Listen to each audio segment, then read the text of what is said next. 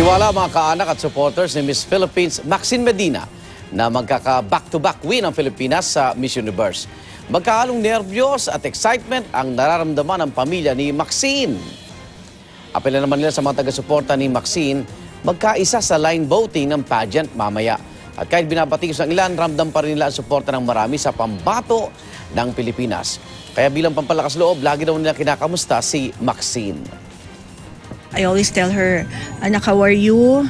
Um, and uh, I hope you're doing okay. I'll be seeing you soon. And you're doing a great job.